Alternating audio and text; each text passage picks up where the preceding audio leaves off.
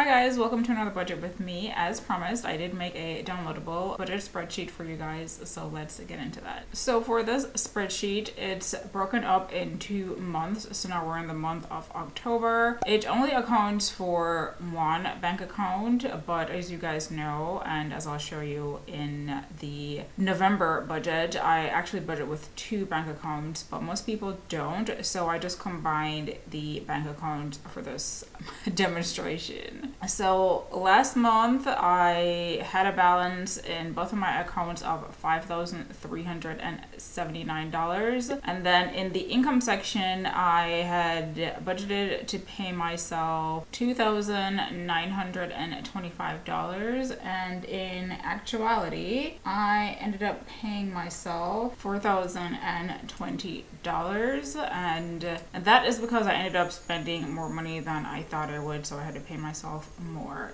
No, that is a difference of $1,095 more, and that is the only income that I received uh, last month. So in terms of savings, this is where you can put your savings amounts or sinking funds investments. But uh, as I mentioned before, I take my savings out before I pay myself, so I don't account for it here. Moving on to the bill section, we have the usual bills. So my cell phone bill was $111, and that is what I actually paid. Subscriptions also stay the same at $19. Electricity actually came in lower, it was $35. Internet was Uh, $50 and uh, car insurance was the same at 461 now my car loan as well that is clearly a debt so it's in the debt section. So that was also the same at 1650 and as you'll see here the spreadsheet accounts for your bank account balance as you go through the different sections. So that way you can always make sure that you have money in your bank account as the month goes on. So next up we have some other accounted for expenses. So when I budgeted with you guys last month I had planned to spend $20 on books. I ended up not buying any books because I was like so busy with like other things. Like you know making the spreadsheet editing youtube videos. As you guys will see i managed to edit a couple blogs plus my usual videos so that took some time so i didn't buy any books. So zero dollars there. And then work expenses came in lower than this actually so $195 now i would like to mention that this part of the spreadsheet is uh, the actual amounts are based on what you put into the expense tracker. So you can put in your expenses several of them. And then the expenses are automatically calculated based on the categories over here that you put in. But because I already have a budgeting software that does that, Mint, I don't need to track my actual expenses here. But I know the majority of people like don't use Mint, so that's why that is there. So another expense that I, I think I did budget for this. I think I budgeted $100 actually, but I ended up paying one, it was more than that on a yearly basis, but I ended up paying for two years worth of car registrations because the less I have to do something, the better for me. So this ended up being $562. So, you know, significantly more than budgeted. And then work supplies. So I was intending to pick up a contractor or independent contractor job, which the first one fell through for sure. And the second one I'm still waiting to hear back about. But I ended up spending $225 for this this. And then accessories, I purchased a couple hooks for my bag and those cost $7. I will show you what the hooks are so that this makes sense. Okay, so the bag comes with the strap and then the actual hooks that are on the back, but um, you need some sort of attachment to get the two together. So effectively I bought these two things from Etsy so that I can wear the bag alone without attaching the smaller bag. Because as you can see, this bag comes with the hooks attached unlike the other one. So I don't know, that made me very excited because, you know, I like versatility. So moving on, I went to the museum, which was lovely, and uh, that cost me $14. Next up was business services. So that ended up costing me costing me $232. And that is things for this business effectively. So my YouTube social media type things. And then when I went to the museum, I paid for parking. That was $7. Skincare. Okay. So Amazon had their prime sale, so I bought a couple things. I bought my usual winter sunscreen, so the Innisfree Daily UV Defense. It's like 36 uh, SPF, but it's that's why it's only for winter, but it's like really moisturizing and makes your skin look super glowy. So I really like that. And then I bought my usual Laneige lip glowy balm because like I cannot live without lip balm. and then the Sephora sale started today, and of course I made a purchase. So with the Amazon stuff and the Sephora, I ended up spending $124 on skincare, which is actually less than I anticipated, but I decided to use up what I have versus like buying more things and having like a stockpile because I'm just trying to like be better about that kind of thing. Now, restaurants. Me and my friend went to the cider mill and uh, we got some cider and donuts. So that was $11. And then at the Sephora sale, I bought some hair products. I bought conditioner and uh, shampoo, and that worked out to $90. And then, of course, I bought the usual hygiene stuff. So, um, some lotions, uh, a body wash, some other things, which you guys will see because I'll do a Sephora haul for you. So, hygiene was $196. And then I'm realizing that I forgot to put some other categories in there. So I'm gonna add those and then we're gonna go over it. Okay, so in terms of my usual living expenses, groceries I budgeted 350, and I spent $264 so that's nice to be lower than usual because for the past few months I've been spending more which is neither here nor there, but I decided to look through my fridge and my pantry and see what I actually had. And I realized I had like multiple of certain things that I kept on buying because I forgot that I had them.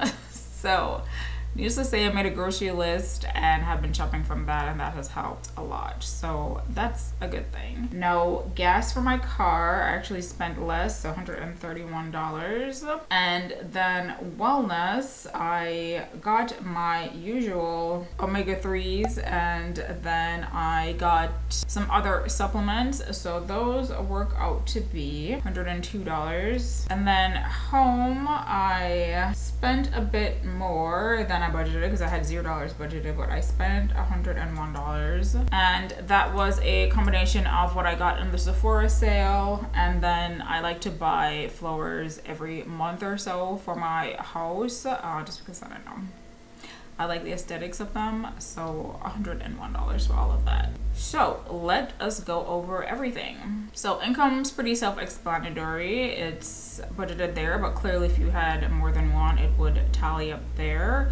So $4,020 for income. Savings, mentioned I did it outside of the budget. In terms of bills, my bills total $676, so $15 more than I budgeted. Debt, is the same and then my actual expenses were $2,261 so $1,349 more than I budgeted for. So that is why I had to pay myself a little bit more over here. So yes, the ending balance in my two checking, checking accounts should be $4,812. And then it breaks down over here what you actually spend in the bills, expenses, debt, and savings categories. But the savings doesn't show because, like I mentioned, I didn't put anything there. But suppose I did put something here, um, we'll put $500, then it would pop up over there. And over here, you can get a overview of what you budgeted for these categories and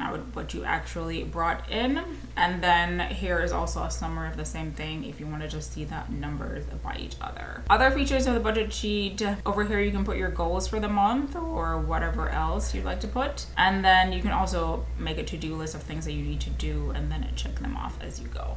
So for actual spending, I spent $4,587 from all of these categories here. And I had initially budgeted $3,253. So that's that. Let's move on to the budget for November. Okay, so November should be a little bit more relaxed, hopefully in terms of spending because November was when I was planning to do the Sephora haul, but then I didn't realize it was gonna start in October. So should be a little bit less spending. Of course, it's gonna be Black Friday, so I'm gonna find something to buy. So we'll see how this works out. But let's start. So this is my pared down version of the budget sheet that I just showed you, and this is what I'm gonna be using for videos going forward.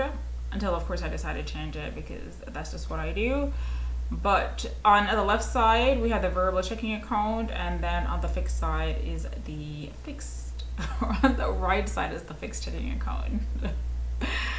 yeah. All right, so in terms of the balance in my variable checking account, it is $1,437. And then the salary or what I'm paying myself is gonna be $1,000. My cell phone bill is the usual, so $70. Subscription is $19 and then electricity is going to be $50 or I'm budgeting $50 because I actually don't know what it's to be. Last year it was $35. I'm hoping it's, you know, less than 50 either way. Internet is $50. That's the usual.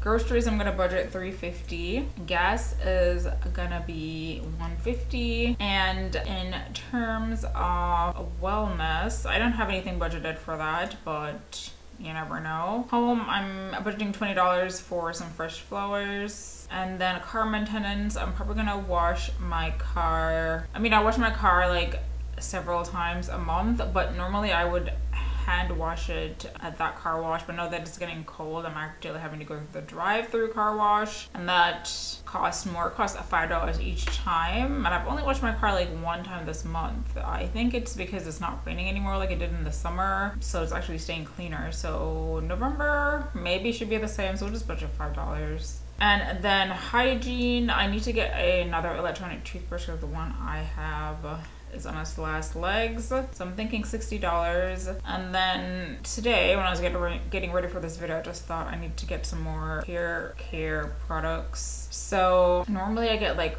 pomades and stuff from Kemet Biologics. So they usually have a Black Friday sale every year. So planning to get some things there. I don't think I need a lot because I still have some stuff from the last time I made an order. So we'll just $50. We'll see what happens. So in total for my spending in the variable checking account, it's going to be budgeted at 8,000 to 8,000, no. $824 and then the ending balance in the account should be $1,613 and I like to keep the balance in this account at around $1,000 but it can also go down to around $700 that's what my average like required spending is. Now we're gonna move on to the fixed side. So fixed checking account starting balance was $3,637 and I pay myself 2200 $200 and I've increased that amount that amount because the costs for these have gone up. And this is effectively what this is the average monthly cost of these bills here because I decided to add the tabs as well. So the only thing I have to pay this month however is my car loan as usual which was 1650 or is going to be 1650 and that should leave me with an ending balance of $4,187 so this is the breakdown of all the spending. But in summary I am going to to be paying myself in both accounts $3,200 and my combined spending is $2,474 and then you can see the breakdown here. So bills cost me $1,839 and these are these two bill categories here. And then living expenses $525 and then extra spending $110 so the difference between the income and the spending is $726 So that is it for the budget with me for November. Hopefully you guys find some value in it and let me know if you think I should make any improvements to the budget sheet or what you think about it in general and I will see you guys in the next video. Bye bye.